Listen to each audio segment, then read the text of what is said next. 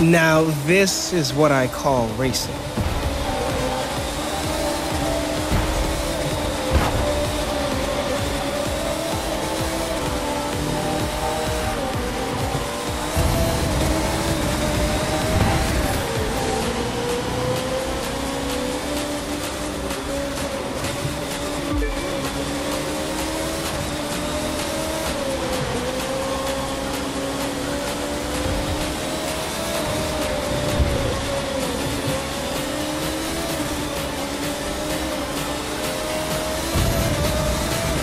You've got the lead, but I'll take the win.